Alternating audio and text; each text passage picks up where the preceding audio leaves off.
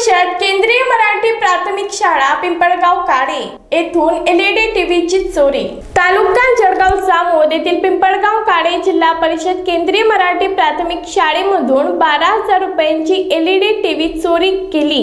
अशी माहिती तोंडी रिपोर्टद्वारे पोलीस स्टेशन जळगाव जामोद यांना दिनांक सव्वीस मार्च दोन हजार एकवीस शुक्रवार रोजी सौ लता गजानन येवले वय वर्ष छप्पन. व्यवसाय नोकरी जिल्हा परिषद केंद्रीय मराठी प्राथमिक शाळा मुख्याध्यापिका राहणार पिंपळगाव काळे. यांनी समक्ष पोलीस स्टेशनला येऊन तोंडी रिपोर्ट दिला. जेव्हा परिषद केंद्रीय मराठी प्राथमिक शाळा पिंपळगाव काळे येथे मुख्याध्यापिका असून सन दोन हजार एकोणवीसपासून कार्यरत आहे. दिनांक सव्वीस मार्च दोन हजार एकवीस शुक्रवार रोजी मी माझ्या घरी हजर असताना माझ्या शाळेमधील शिक्षिका सारिका रोहणकर यांचा सकाळी नऊ वाजता माझ्या फोनवर कॉल आला. की वर्ग तीन या रूमचा दरवाजा खुला दिसला.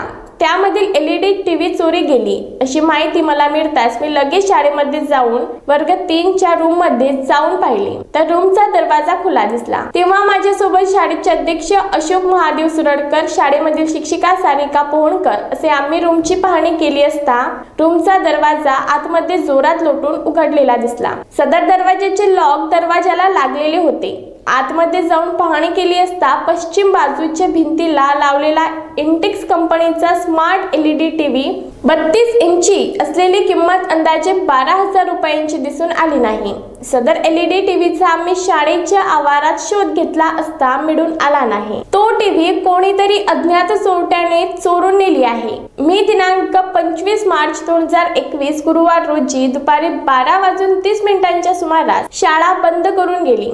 तेव्हा सदर एलईडी टीव्ही हा त्या रूममध्ये होता. दिनांक सव्वीस मार्च दोन हजार एकवीस रोजी सकाळी नऊ वाजेच्या दरम्यान चोरी केल्याचे दिसून आले. याच कालावधीत कोणीतरी अज्ञात चोरट्याने एलईडी टीव्ही चोरून नेली असावी अशी माहिती पोलीस स्टेशन जळगाव जामोदला रिपोर्ट देत आहे. योग्य ती कारवाई व्हावी पुढील तपास पोलीस उपनिरीक्षक मदन व शेबोकार हे करीत आहेत.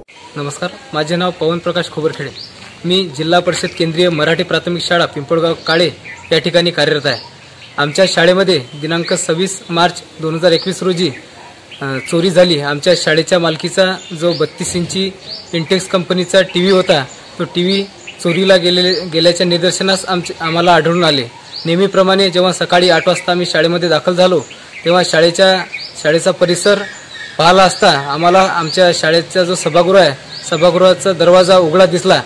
उघडा दिसल्यानंतर जेव्हा आम्ही आत डोकावून पाहिलं तेव्हा शाळेच्या मालकीचा जो भिंतीवर आम्ही टी व्ही फिट केलेला होता बसवलेला होता तो टी व्ही आम्हाला चोरीला गेल्याच्या आढळले.